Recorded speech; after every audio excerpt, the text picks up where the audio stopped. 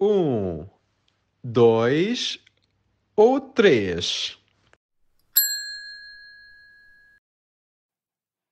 No teatro há muitos elementos importantes, mas este é um dos mais importantes, pois é nele que a peça é encenada.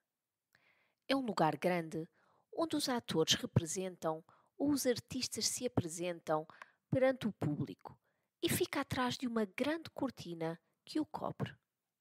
Qual é a imagem?